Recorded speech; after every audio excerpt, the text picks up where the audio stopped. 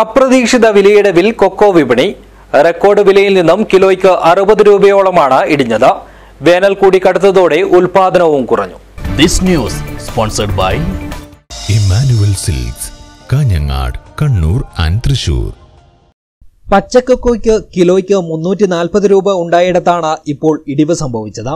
അറുപത് മുതൽ എൺപത് രൂപ വരെയാണ് കുറഞ്ഞത്.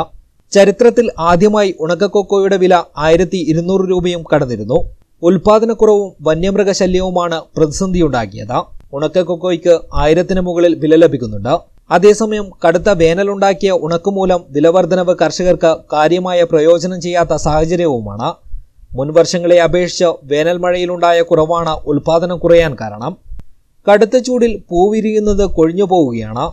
ആഗോള വിപണിയിൽ ആവശ്യത്തിനനുസരിച്ച് കൊക്കോ ലഭിക്കാത്തതാണ് വില കുതിച്ചുവരാൻ കാരണമായത്. വില ഇനിയും ഉയരുമെന്ന പ്രതീക്ഷയിലാണ് കർഷകരുള്ളത്. മറ്റു കൃഷികളും കടുത്ത ചൂടിൽ ഉണങ്ങിക്കരിയുകയാണ്.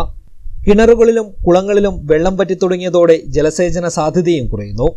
ഇതുമൂലം ഉൽപ്പന്നങ്ങൾക്ക് വിലവർധനവ് ഉണ്ടായിയെങ്കിലും അതിന്റെ പ്രയോജനം കാർഷിക മേഖലയ്ക്ക് ലഭിക്കാത്ത സ്ഥിതിയാണ്. News bureau Vellarikundu.